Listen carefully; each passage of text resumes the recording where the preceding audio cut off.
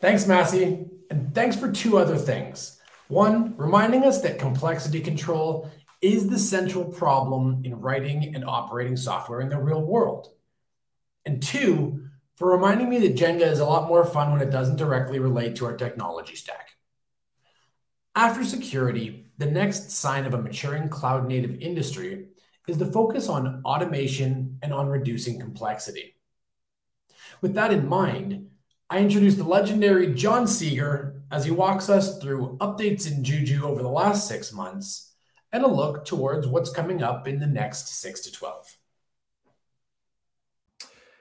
So thanks very much, David. Uh, uh, I'm Jon Seager. I'm the Vice President of Engineering for Enterprise Solutions at Canonical, which functionally means that I look after the development of Juju, the operator framework, and most of the Charm teams that work at Canonical, um, some of which you'll have already heard about today. They include the data platform team, the observability team, the Kubeflow team, the identity team, and a couple of others as well. Um, today, I'm going to talk to you a little bit about um, why you would use Juju, a bit of a recap, um, and kind of where we're positioned by comparison to some of the other tools on the market. I'm also going to give you a bit of a view as to what we've been working on for the last six months and what we're hoping to develop over the next six months to a year or so. Um, you can continue to ask questions in the chat. You can also ping me on Twitter. My handle's just at the bottom of that first slide. Um, so what I'll do is I'll just first get started as to why Juju, what is a charmed operator, uh, and what kind of benefits can it bring to your business?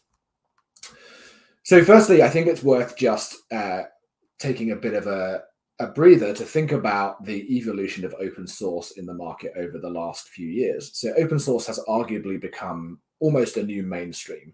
There's never been so much choice of genuinely world class applications and services that have been made available through the open source world. Um, if you need a relational database or a document database or a metric scraper, or you need to do machine learning, you need an IDE, uh, you need infrastructure as code tools, you can almost guarantee in almost any category of software that you're going to find an open source contender. And often the open source contenders are as good or, or even better than some of the enterprise offerings. Um, one of the biggest differences um, that's happened over the last few years is lots more organizations, as well as individuals, are recognizing the benefits of open sourcing their code. If you just think about the success of Linux itself, of databases like Postgres, IDEs like Visual Studio Code, dashboarding tools like Grafana, these have become almost household names uh, for a lot of tech people and even for a lot of non tech people as well. However, deploying applications has almost become the easy part. There are plenty of tools on the market that can help you deploy applications, be those Terraform or Helm or Ansible. Um, you pick your poison. There are lots of applications that can deploy other applications. The difficulty comes where you know, applications are more than just a single service. Most complex applications are not just composed of a single component. You'll often need databases, caches, event queues, indexes, um, an observability stack, uh, and various other tools to be composed with. Uh, for each of those things, you'll have to figure out how to configure them individually, how to join them together, uh, which is hard enough on just one system or one cloud, but gets really, really difficult if you're trying to kind of juggle that across public clouds, private clouds, hybrid clouds all at once. Even if you get that sorted, the hard work really begins when you start operating and supporting your software in production. So your day two onward story gets really, really complicated where you're kind of rolling your own and combining lots and lots of different tools. Uh, how can you guarantee that your automation is going to evolve as the underlying cloud platforms change? Uh, part of the great thing about the public clouds, for example, is that they're constantly introducing new features, new integrations. But as a result of that, their APIs often change. And so it's quite easy for your shiny infrastructure as code repository to become stale over the course of just a couple of months. So you're going to need someone who maintains your infrastructure as code. You're going to need someone who tests constantly the integration between the various components and that you can recover your environment. Uh, and you're also going to need to make sure that it's observed and that the various new te telemetry formats are, for, are being used. There's also the ongoing problem that's been a problem in the industry forever of how you ensure that your estate is patched for security vulnerabilities, not just in the uh, underlying infrastructure, but also the applications that you use, be that Postgres or MongoDB or, or whatever it is that your stack is using. So I present to you Juju as a tool that you can use to deploy any application at any scale on any platform or architecture on any substrate, where substrate is a, a cloud of some sort. We support all kinds of different substrates, be that bare metal, be that conformant, uh, CNCF conformant Kubernetes, OpenStack, uh, Amazon Web Services, Google Cloud, Azure, Oracle Cloud, VMware, Equinix, and a couple of others as well. So you can use Juju almost wherever you've got cloud estate. You can generally use the exact same charm, the exact same package for an application on lots and lots of different substrates, which gives you really, really great portability for your workloads. And critically, because we support so many different platforms, uh, and because the world is just increasingly getting more complex and the cloud APIs keep changing, with Juju, you just get to learn one set of tools. You learn how to deploy something with Juju. Juju will carry on working in the background and evolving itself to make sure that you can keep building and running your infrastructure. One of the really, really interesting things about Juju is just how flexible it is. Uh, this illustration gives you an idea of just a, a handful of different ways that you might deploy a albeit relatively contrived application stack. So at the top of each of these stacks, you'll see Prometheus, Postgres, and Kafka. On the very far left, you can see that we've built a Kubernetes cluster on top of AWS EC2. So we've deployed a Kubernetes cluster on top of EC2 with Juju. And then on top of that Kubernetes cluster, we've deployed Prometheus, Postgres, and Kafka. Coming along one, we start with Canonical MAAS, which is a bare metal provisioner. On top of our bare metal, we've deployed OpenStack with Juju. We've taken that OpenStack and deployed Kubernetes on it with Juju, and then we've taken the Kubernetes and deployed our apps on that with Juju.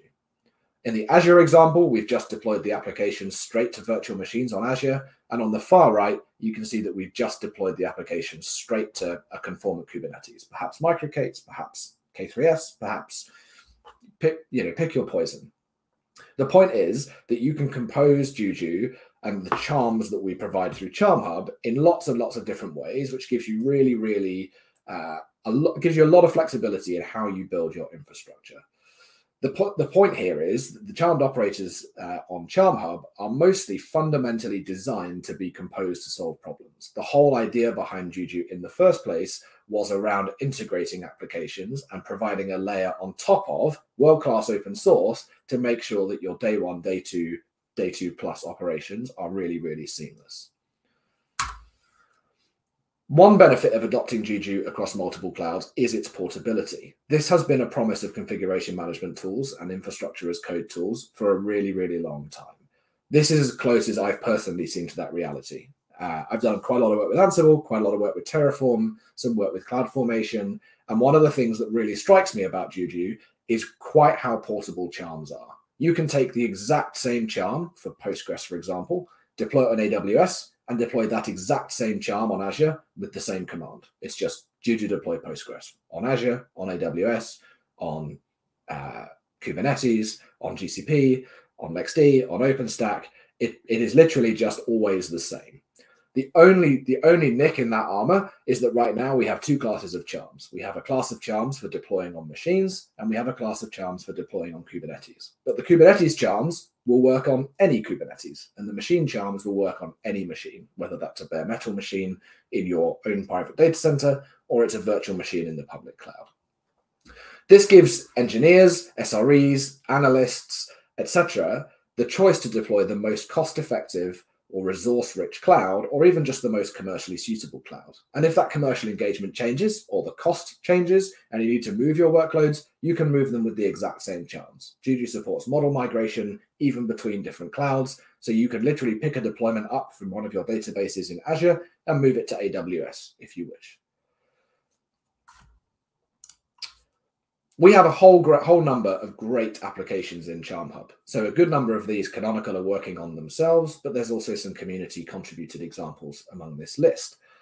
These are generally first class applications from the open source world. The Charm Hub itself provides quite a rich interface for finding those applications, reading the documentation for those applications, understanding the configuration, understanding which other charms they can integrate and how, understanding what the day two actions that are available are, and the Charm Hub is fully integrated with the developer tooling. So the same tool that you use for building your charms, Charmcraft, is also the tool that you use for publishing your charms to Charm Hub. in general, we like to think that charmed operators should be absolutely great on their own. But as I mentioned earlier on, one of the key value propositions for Juju is its kind of ability to provide a much, much higher level of integration between tools. And so if you take some of these uh, bundles as examples, you kind of get to see quite the value that Juju can add. Take Kubeflow, for example. Kubeflow is, in this case, a bundle of 30 plus microservices that can be deployed on Kubernetes. Each one of those microservices has its own unique configuration. There are various sets of them that need to be configured to talk to each other. The bundle also includes Istio and various other components.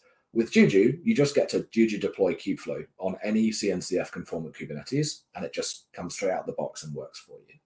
The same can be said for our observability stack. So our observability stack is comprised of Prometheus, Grafana, Alert Manager, and Loki in its light form. And in the coming months, we'll begin adding support for Mimir as well, and for more kind of high availability friendly deployments. Uh, Magma is a tool that you can use for building and operating 5G mobile core networks. And the point is that each of these bundles is comprised of many, many different applications, um, often complex applications like databases that have uh, a lot of detail around how they should be scaled, where they should be deployed, how they should be configured. Um, and so by using Juju, you get to abstract away all of that detail and just deploy your observability stack and then go ahead integrating that with the applications that you've deployed, whether that be a database or, or whatever. So I'd like to talk now a little bit about some of the work that the Juju team uh, has been doing over the last six months.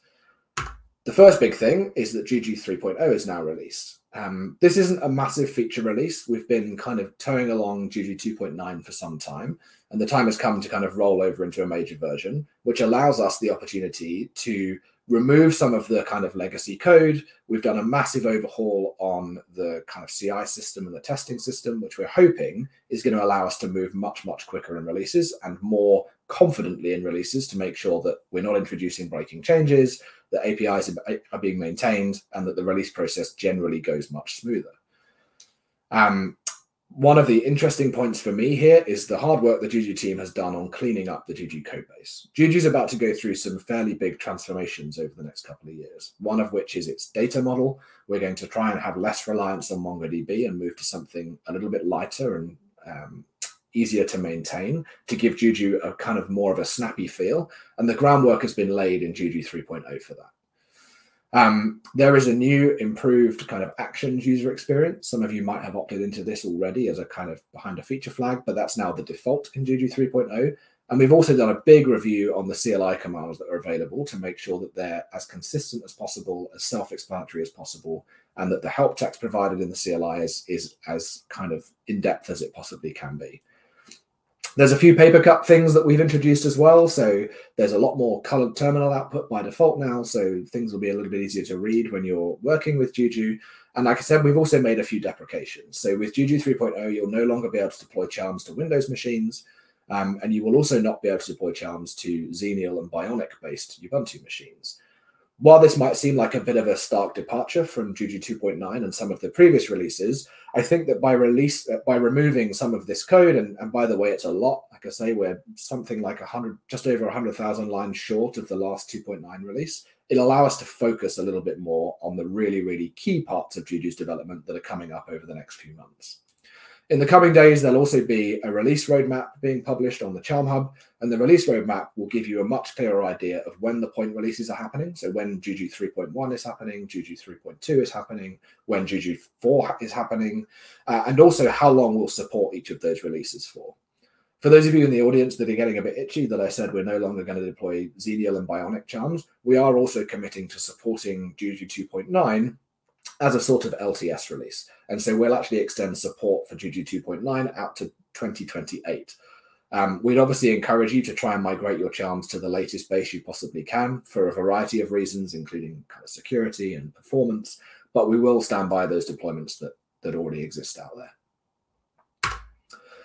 Another project that I'm really excited about personally is a Terraform provider for Juju. So um, what this enables you to do is essentially drive an existing Juju controller with Terraform. So if you have access to a Juju controller and you would like to create a model, deploy a charm, configure those charms, create relations between those charms or create cross-model relations between those charms, you can now drive that with Terraform. You might be wondering why we bothered doing this, given that we have some kind of crossover in functionality. And the answer is there are lots of enterprises that have already already adopted Terraform. Terraform is good at some things. Juju is not so focused on those things. So, for example, um, you wouldn't be using Juju to arbitrarily provision a VPC and a subnet and a virtual machine on EC2. That's not really how we've designed Juju to be used. Um, we've designed Juju to manage applications and the lifecycle of those applications. You also wouldn't use Juju necessarily to provision DNS records into Route 53. You might not use it for uh, deploying uh, a Lambda function. But all of these things are valid use cases. And uh, we wanted to enable users to be able to take full control of their cloud infrastructure using Terraform, create VPCs, deploy Lambda functions, you know, manage your DNS through Route 53, but also be able to use Juju to manage the lifecycle of applications uh, the way we see applications being managed. So this allows those users who have already adopted Terraform to trivially slot this into their existing kind of infrastructure pipeline and start, for example, taking taking advantage of Kubeflow charmed Kubeflow as part of their existing AWS estate managed by Terraform or their existing Google estate or OpenStack estate, whatever it might be. As part of this project, we had to do quite a lot of work on the Juju API itself. So um, we've begun work on restructuring Juju's API to kind of decouple it from the client, which will open the door for more and more kind of third-party integrations. So if you're building an application that you think might be able to use Juju under the hood to deploy applications, then the story there is going to get a lot cleaner over time. And we're, we're also committed to building a lot more uh, kind of developer documentation for Juju itself. We've traditionally focused on providing developer documentation for charmed operators, but we also recognize that there are people who might want to just integrate Juju into their own product to take advantage of the capabilities it brings, deploying applications, managing them, etc. You can find all the docs for that on juju.is slash docs slash Terraform. It's also published into the Terraform registry. So if you head over to the Terraform registry and search Juju, you'll find the kind of fully formed docs there um, as you need. So I, I displayed this picture at the last operator day. This was kind of my view on how Juju secrets would evolve. With Juju 3.0, there will be the opportunity for you to kind of elect to enable Juju secrets. It will be behind a feature flag. By Juju 3.1, it will be generally available. So, what is Juju Secrets and why would you want to use them?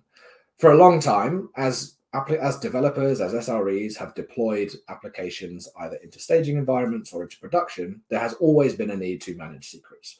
Juju has been a little bit weak here. So we've generally relied upon third party tools like HashiCorp Vault um, or kind of more primitive mechanisms for sharing secrets around. Perhaps you might have an integration with Azure Key Vault or something like that.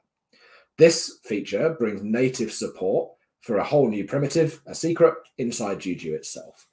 So we're working on three separate backends. The one that we've implemented first is the controller backend. So that is you would essentially create a secret using the Juju CLI. That secret would be stored in the controller database. It would get its own ID. It would be tied to an application. And that will enable Charm developers to, for example, when you, in this example, we have a, a Postgres and a Mattermost. If you integrate Postgres and Mattermost, then Postgres can create a database for that Mattermost instance, create a secret for that database that holds the database password and user, and then hand that secret over by reference to the Mattermost charm, which can then query the Juju controller and say, "Hey, I think I'm supposed to get a secret. Am I am I allowed to access it? Can you give me the value?" We've implemented it in such a way that the backend is completely kind of hot swappable. So um, we have early code that you'll be able to opt into on a kind of feature flag basis that will allow you to use the Kubernetes secrets backend. Um, the benefit of doing that when you're on Kubernetes is that if you have a kind of CSI driver or you have an integration, for example, where you're on uh, Azure Kubernetes service and you're using Key Vault to store your secrets encrypted, if you use the backend, the Kubernetes backend for Juju Secrets, when your charm creates a secret, it will automatically end up being stored in the Key Vault. So if you have kind of Kubernetes native integrations for managing your secrets, using the Kubernetes backend allows you to take full advantage of that straight away. We're also going to implement the HashiCorp Vault backend, uh, for which there are charmed operators. So you can deploy HashiCorp Vault on machines or on Kubernetes using charms, and then you can tell the controller to use that for secret storage too.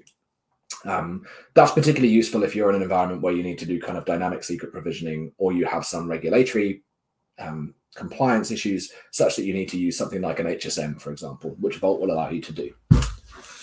Um, one of the key things I think that this brings is it firstly brings kind of a common language. So you can manage secrets in the exact same way, whether you're on AWS, whether you're on Azure, on Kubernetes, it'll just be the Juju commands for creating, rotating, retiring secrets.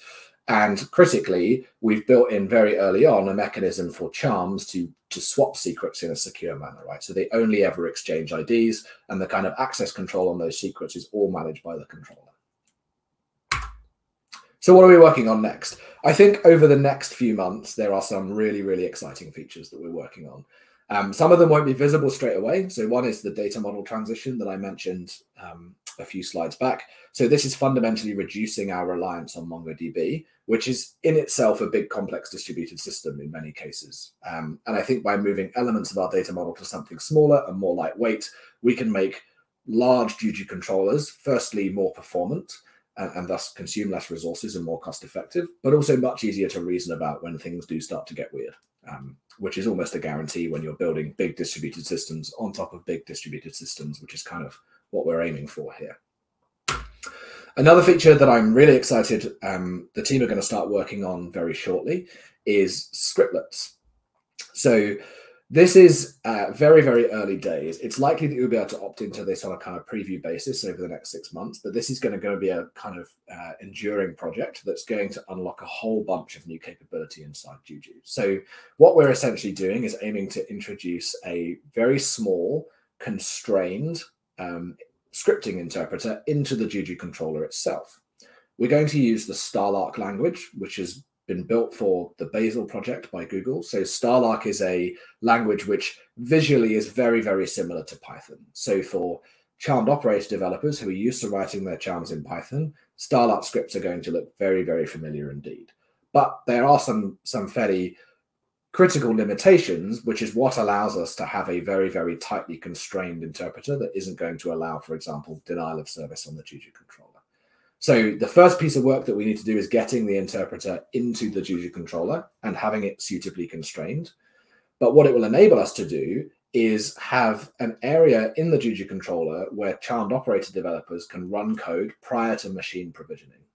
So traditionally with Juju, when you deploy an application, you've had to wait for Juju to go, go ahead in the underlying cloud, provision a machine, install the charm software, and then kind of invoke some Python code that has kind of led to a bit of a chicken and egg problem in some scenarios, particularly on Kubernetes, and this is going to solve that problem. So charm authors will soon be able to, to include very small scripts in their charms that will get run before the charm is even provisioned as part of the controller. So a very obvious example of this is if you are building a Kubernetes charm for an application that has a dependency on a custom resource definition, you can now make sure that that custom resource definition is applied to the Kubernetes cluster before your application pods are even created. You can also use it for programming relations and, and using something called delegated relations, which uh, is something we'll kind of introduce over the next few months. Um, but it'll also introduce kind of templating capabilities, the opportunity for doing data validation in more places. So, for example, if you try to integrate two applications together and they happen to speak a slightly different protocol, a script will be able to catch that and kind of reject the operation a little bit earlier on rather than allowing things to go through. So this slide is a little bit abstract, um, but needless to say, the ability to the ability for charm authors to provide little scripts for the Juju controller to run without a machine is going to unlock a whole bunch of new capability. One of the most obvious capabilities there is going to be Juju stacks. So Stacks are essentially the next generation of bundles. It's what bundles always wanted to be, but we never quite pulled it off. So right now, if you take Kubeflow, which is 30 something charms, and you deploy that into the model, at the point where that deployment is complete, the, the notion of the bundle kind of dissolves, right? You're just left with a model with 30 charms and a bunch of relations and config. You can't then interact with Kubeflow as a whole again. And the same can be said for observability and any other bundles. The idea behind stacks is you usually deploy Kubeflow, and what appears in your model is a blob called Kubeflow. And inside that is all of the charms for Kubeflow, right? So it's kind of like almost like a nested model, a nested scope inside your existing model. The the reason scriptlets pay into this is they will enable us to, to unlock kind of a whole like next generation of self-driving software. So for example, let's say you Juju deploy Postgres and you scale the Postgres out to three units. So you're running a highly available Postgres uh, with some kind of failover mechanism, some automated backup. The scriptlet will allow you to allow the charm author to specify how to scale. So when I run, you know, Juju add unit Postgres and I want to scale my Postgres up to four or five units, what are the steps I need to take? Right? And the, and the, the scriptlet inside the stack will be able to kind of orchestrate that in a very, very fine grained way. If we have an application that needs to do, for example, schema migrations, or perhaps uh, when you move an application from kind of single, you know, non-HA mode into HA mode, there needs to be another component alongside it. Well, the scriptlet will be able to take care of that. So it's essentially like a another layer in between the charmed operator code that runs in machines and pods and the the operator who's poking buttons on a keyboard right? There's something in between that can kind of make decisions and take action on behalf of the user. It'll massively simplify the way that we do integrations. So imagine you know in in a year's time let's say you'll be able to juju deploy kubeflow juju deploy cos which is our observability stack and then juju integrate cos kubeflow and all of the things inside Kubeflow that need to talk to Prometheus will instantly be talking to Prometheus. All the things inside Kubeflow that can do log forwarding and talk to Loki will just automatically talk to Loki. So it will really, really simplify the way that you deploy applications and integrate them across different clouds. One of the interesting properties about the way we've designed this is that charms are sort of stacks and stacks are sort of charms, which means that if you're a charm maintainer now and you think you want to take advantage of this, you'll be able to seamlessly kind of upgrade your existing charm to a stack. Just as a, a Juju, you know, Juju refresh, you upgrade the charm, and if it needs to grow those capabilities, it will be able to grow them. Okay, so um, if you want to get involved with all of this, there's a few different ways that you can get in touch with us. Obviously, you can keep chatting to us today in the chat on the right hand side. But you can also head over to charmhub.io, which is where you can find the charm collection and the various bundles that have been published. We've also added topic pages, for example, that do deep dives on observability or machine learning with Juju, so you can take a look through those. We have a, a forum, the discourse forum, so that's discourse.charmhub.io. You can use that for asking questions, um, for contributing to our documentation. We have a kind of requests mechanism where if you want to have various charms promoted or published, you can do so through the forum. So it's a really good way to get in touch with the Juju developers themselves, but also the charm teams inside Canonical and, and other community members. If you prefer a kind of more instant messaging type approach, then head over to chat.charmhub.io. There's a whole bunch of channels in there from charm development to Juju development itself to kind of topic specific channels like observability, where you can come and talk to the various developers inside and outside Canonical who are using Juju to solve problems and, and kind of get assistance. You'll also learn uh, on the forum and chat about our community workshops that run every Friday. So they are about an hour long. We kind of vary the time zone from week to week, but some of those are kind of deep dives into perhaps a feature like Juju Secrets or a particular method of debugging a charm or some tooling that you might want to pay attention to.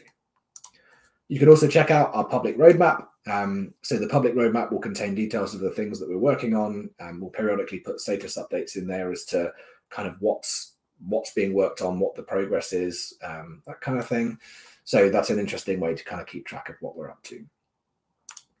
And that pretty much concludes my talk. So thank you very much indeed. Um, I'm going to hand over to David again, but do please keep asking questions in the chat. And I look forward to seeing you on the forum, in the Mattermost, and beyond.